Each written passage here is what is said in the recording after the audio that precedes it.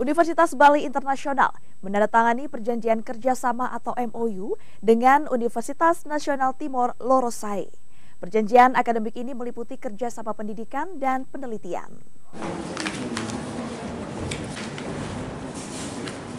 Penandatanganan nota kerjasama antara Universitas Bali Internasional dan Universitas Nasional Timor Lorosai dilakukan di aula kampus UNBI kawasan Jalan Seroja Denpasar Selasa siang.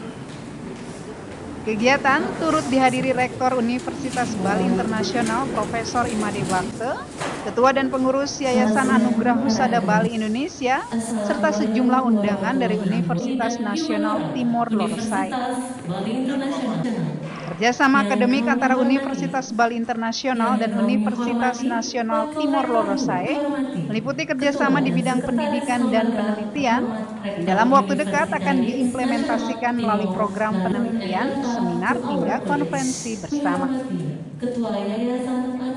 Jadi kita ingin melakukan kerjasama dalam bidang apa pun yang kita anggap uh, saling membantu antara kedua universitas karena ini sangat kita butuhkan uh, untuk meningkatkan akreditasi kita. Lebih-lebih lagi nama Universitas Bali Internasional kan kerjasama internasional kita. Ya, setelah penandatangan ini, Pak Rektor dengan saya, kemudian dengan Wakil Wakil Rektor akan mengimplementasikan terutama dalam bentuk seminar nasional, uh, seminar internasional, penelitian bersama, atau pengabdian masyarakat bersama, sehingga kita bisa untuk memberikan win-win solusi. Misi universitas itu kan uh, di bidang uh, pengajaran, di bidang penelitian, di bidang pengabdian masyarakat, uh, inovasi. Jadi kolaborasi kita pasti di sekitar area itu ya dan mungkin yang paling paling paling uh, uh, praktis untuk kita memulai mungkin bisa dengan seminar bersama atau konferensi bersama atau bisa merintis program uh, penelitian yang mungkin bisa benefit untuk Timor Leste dan juga untuk Bali.